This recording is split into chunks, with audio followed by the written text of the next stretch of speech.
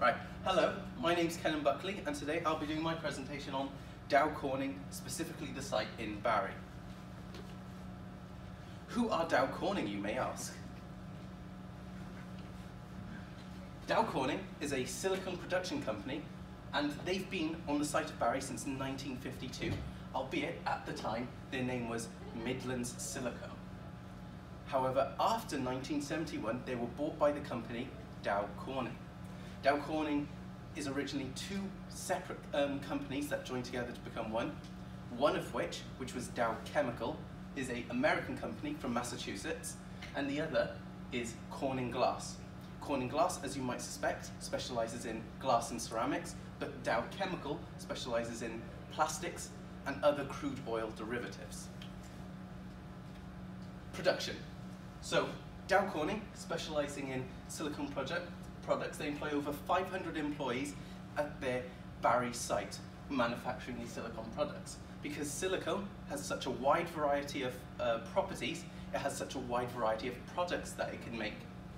One of which is lubricant, cream, contact lenses, etc., etc., etc.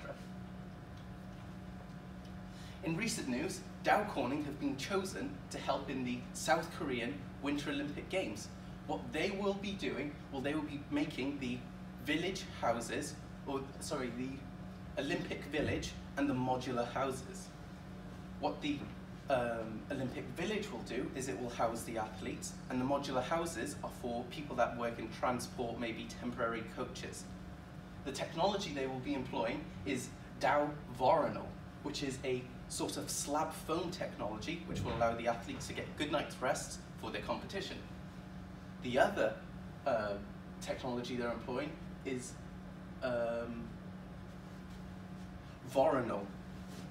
Voronil is a cellulose silicone product and it will be used for insulation.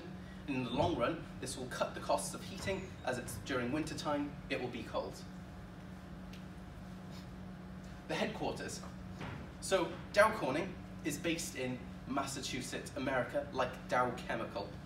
However, the site on Barry is in Barry, but um, which is only 19 miles away from here, and it actually sits between um, Barry over here and Cardiff, just slightly off of Barry.